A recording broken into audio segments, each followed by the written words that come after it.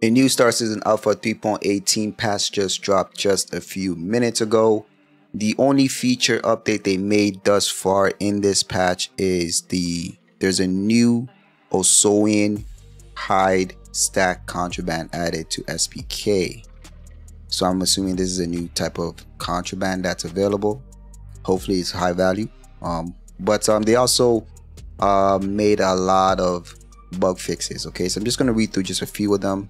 The Hercules door cockpit uh, door panel text is split and cut off. That's been fixed. The pirate never pirates never spawn aboard hijacked 890, but we experienced that just recently, preventing any mission progression. That's been fixed. That's good.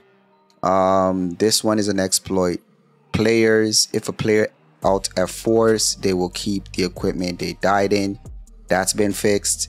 Um, the wingtip showing as a valid but do not allow salvage. That is for the Merlin. That's been fixed.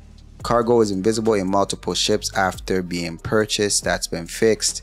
Spawning ships causes the requested ship to spawn outside of the hangar. That's been fixed. The Greycat, ROC, and ROCDS mining arms are not aligned with the AIM reticules. That's been fixed.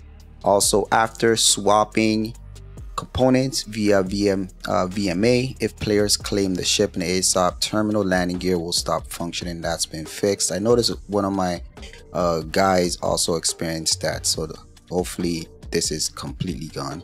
Okay, so bounty on escapee will persist even after they have cleared their crime stat. That's been fixed. And AI has a chance to spawn inside a wall that is inaccessible to players. Now this is, has to do with the infiltrate and defend missions.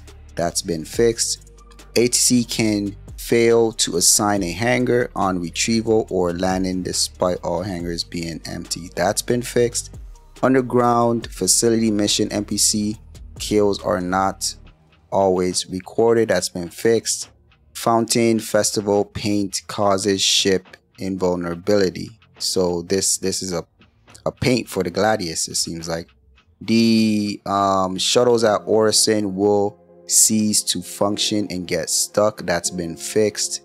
Ships will retain volatile cargo alarm and damage on countdown from volatile cargo removed by the refinery. That's been fixed. They also made two um, client crashes fixes as well as two server crash fixes as well. Let me know your thoughts in the comments down below. I'll see you on the next video.